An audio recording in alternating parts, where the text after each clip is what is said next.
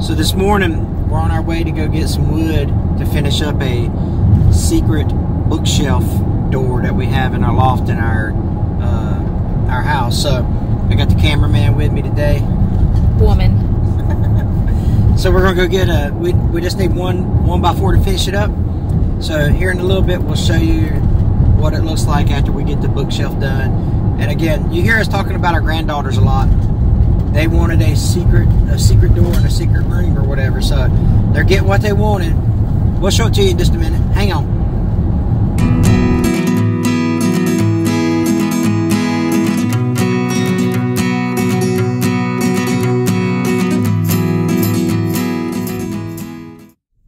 Yeah, it's pretty pretty simple. We just go in there and get the one by four and drive around to the lumberyard section of it and of the surplus and salvage store that we got here and they're able to load it up. These guys are real good here. They they really take care of you. We we bought probably forty percent. Put seatbelt on, babe. We uh we probably bought forty percent of our supplies from from this place. They're real good, real good people. Take care of you. So now we're in Walmart. We had a stunt come get get some stuff, and so come on, come on. We've got to get some motor oil. I buy I buy motor oil at the Walmart because they're cheaper. What do you need? Hold on, I'm being summoned.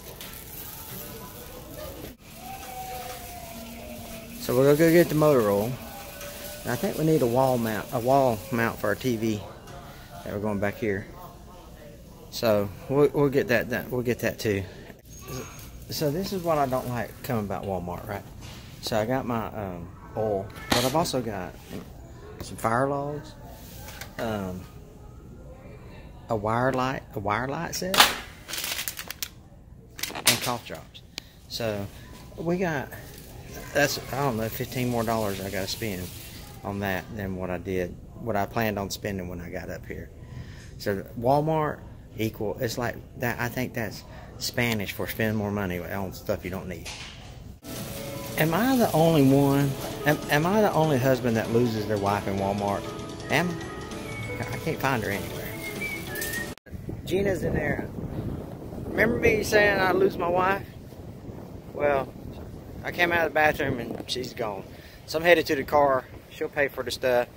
That's dividing and conquering right there. Dividing and conquering. This is the original one by four that I've got uh, that we had on the bookshelf. And you can see I had to notch it. You have to notch it for the um, shelves to kind of open up, but you'll see it later. But the reason why the reason why I had to replace it is because I tried to take a uh, I tried to take a pocket knife. It was getting caught, so I said, "Well, I'll just trim that up with a pocket knife," and it looks like uh, well, it looks like doo doo to be honest with you. So I got to fix that. We're using an Onyx Black. It's just to grab and go from. I think we got it at Walmart to be honest with you. Anyway, so I got the one by four painted up. And as soon as she dries, I'll probably put a second coat on it and put it up. And the secret bookshelf will be done and you'll get to see it. We got the bookshelf done. Looks really good. And I will show you how it works. And uh, you'll get to see exactly how we kind of made it that secret look for the granddaughters. So let's show them how it looks. And let's show them how it looks. Okay, we're not going to show you how it looks. Can you not hear me? What do you want me to do? Oh, I thought you was going to open the door. I thought you were going to do it right there and show them how it works. I thought you were going to do it. No. Okay, you do it. Show. Are you not going to do it?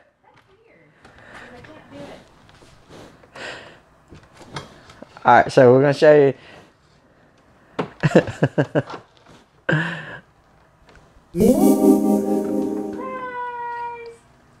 so there's our secret bookshelf door. So let's take a little closer look on how we how we got that accomplished. You can see how it looks like a bookshelf, and basically what we've done is we painted it black by design so that it kind of hides the, the cracks or whatever.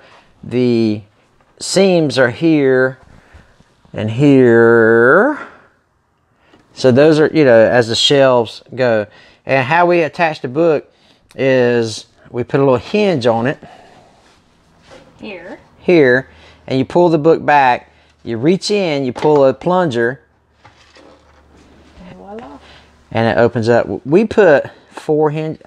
I put four hinges on it. Uh, let's see. One, two, three, four.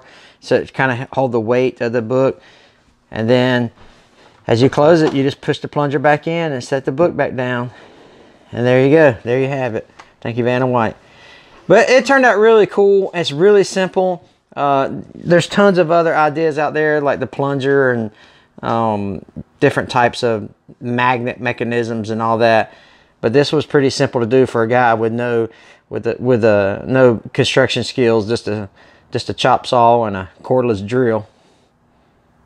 But I think it turned out good, and I think the granddaughters They love it. they love it. So that's the important part. We got a secret door. How cool is that? We got a barn with a secret door in it. That's pretty awesome. And we did it because we love our granddaughters. Anyway, hey, listen, I hope you enjoyed it. Comment below if you have a secret door in your house.